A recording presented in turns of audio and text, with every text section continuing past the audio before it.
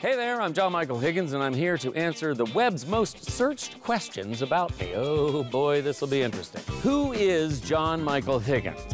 Uh, it's me. That's me. What is John Michael Higgins doing now? I'm answering questions from the web. What is John Michael Higgins' shoe size? 11 and a half. What is John Michael Higgins known for? Eating ice cream. Why is John Michael Higgins called Michael? You'll have to ask my parents. I'll give you their number. I don't know. Who dresses John Michael Higgins? Her name is Joanne Lavin. She's a genius. And that's a wrap on answering the internet's burning questions about me.